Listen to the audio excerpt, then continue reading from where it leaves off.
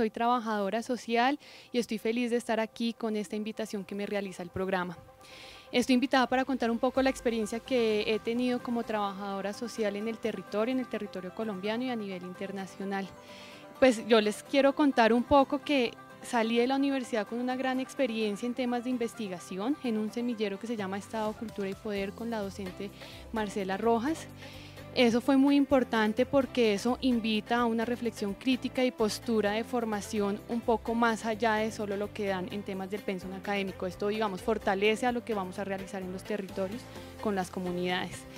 He tenido varios espacios de formación laboral. He estado en la unidad de víctimas, en territorio boyacense con la Fundación Plan, He estado participando en construcción de procesos comunitarios a nivel eh, de localidad aquí en Bogotá y actualmente estoy en la Corporación Programa de Desarrollo y Paz del Cesar, donde hace parte de la Red Pro de Paz y la Uniminuto es la junta directiva, hace parte de la junta directiva de esta, de esta organización. Eh, llegué allí en el 2015 como voluntaria, duré aproximadamente un mes y bueno, por todas las capacidades que se pudieron desarrollar, empecé a trabajar con ellos en procesos de desarrollo rural, en temas de comunicación para el desarrollo, incidencia social y política. Estuve dos años por fuera del país en Australia haciendo una formación académica, perfeccionamiento de inglés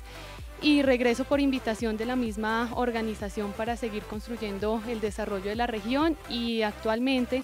Estoy como coordinadora de comunicación para el desarrollo, donde estamos desarrollando varios procesos estratégicos territoriales en temas ambientales, en temas de gobernanza, construcción de paz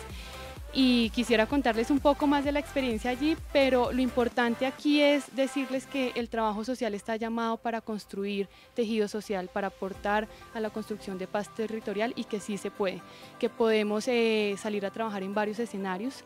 en que podemos quitarnos los límites, que los límites lo ponemos nosotros, no hay límite territorial, podemos seguir construyendo sociedad y que no solo lo construimos solos, sino con la comunidad. Realmente el mensaje para ustedes, estudiantes de trabajo social, es que se animen a experimentar nuevas cosas. Yo nunca pensé estar en el área de comunicación para el desarrollo, nunca pensé tener el tema de investigación transversal al proceso, en trabajar temas de desarrollo ambiental. Entonces el llamado es que podemos aprovechar la carrera, la profesión en incidir en una población y pensarnos en un país.